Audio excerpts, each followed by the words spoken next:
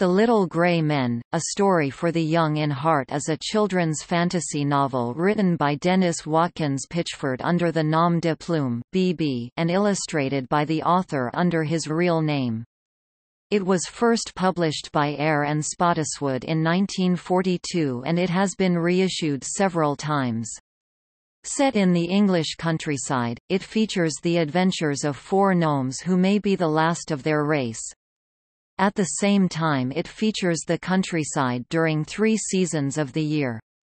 Watkins Pitchford won the 1942 Carnegie Medal recognizing The Little Grey Men as the year's best children's book by a British subject. A sequel was published in 1948, Down the Bright Stream, later issued as The Little Grey Men Go Down the Bright Stream Methuen, 1977. Jointly they may be called the Little Grey Men series. The original novel was adapted for television in 1975.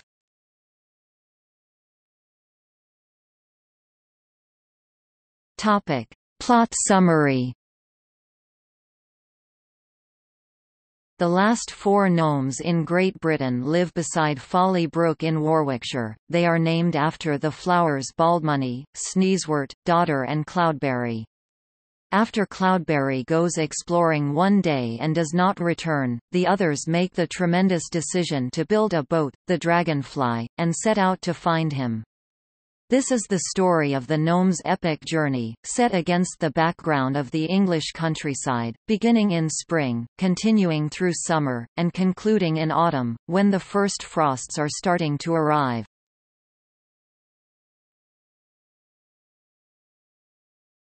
Topic: Characters.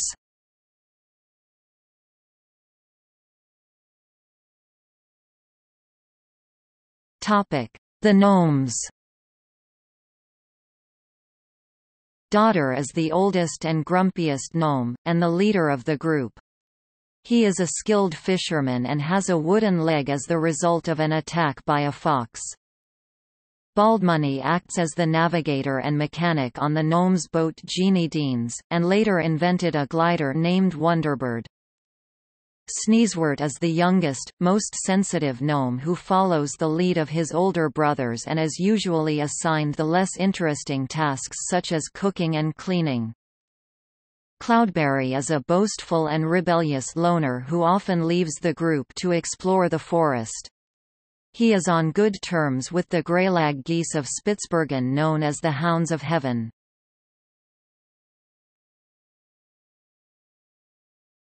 Topic: Supporting characters. Squirrel is the gnome's friend who accompanies them on their adventures in both books. Ben is an owl who provides the gnomes with mouse skins for clothing.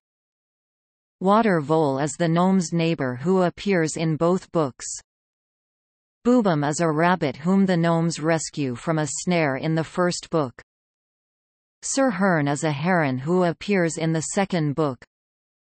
Otter helps pull the Jeanie Deans to safety after her clockwork motor breaks. Mr. Brockett is a badger who appears in Down the Bright Stream. Cack Jack is a thieving jackdaw who steals some of the farmer's silk handkerchiefs for Baldmoney's glider. Woodcock is a friend of the gnomes who has his own island at the heart of an Irish loch. Nanny Goat lives on a farm and allows the gnomes to milk her. The farmer is Nanny Goat's owner. In Down the Bright Stream, Baldmoney uses his best Sunday shirt to build Wonderbird.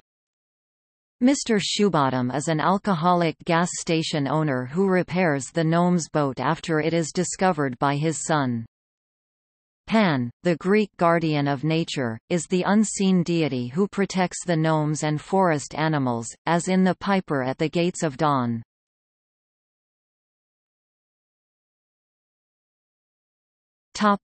Villains Cruel Giant Crumb is a human who kills any animal that enters his wood. The gnomes witness his death in the first book. Jet is Giant Crumb's black hound who tracks down intruders in Crow Wood. White Stoat is a vicious ferret who serves as Giant Crumb's henchman, and is rewarded for killing rabbits. The Chinaman is an arrogant, brightly colored cock pheasant who acts as Giant Crumb's lackey.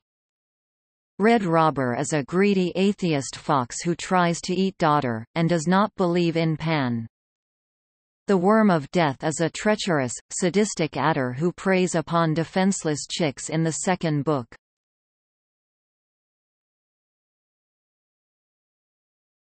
Topic: Sequels.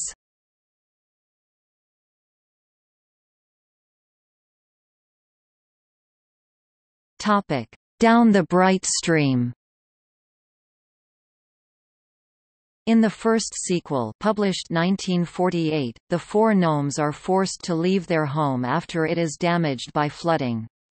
Using their clockwork boat the Jeanie Deans, and later a flying machine named Wonderbird, they travel to Ireland and colonize a ruined chapel surrounded by a loch.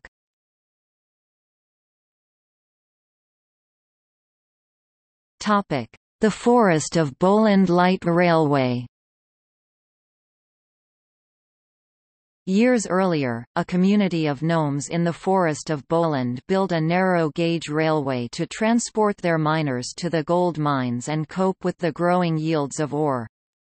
Some wicked goblins steal the steam locomotive named the Boland Bell, overrun the town and enslave the population, but are eventually driven out of the forest by a friendly tribe of cowsies. The book's popularity among Generation X children in the UK meant that it was reprinted twice, during the early 1970s and mid-1980s.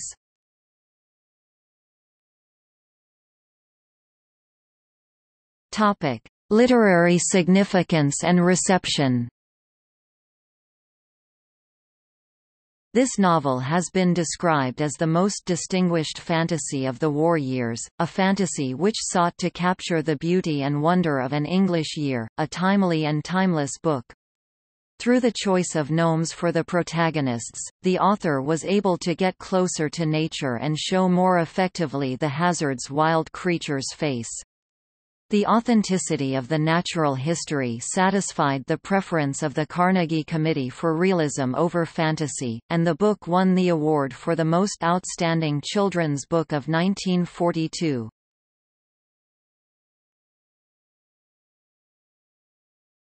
Topic: Television adaptation.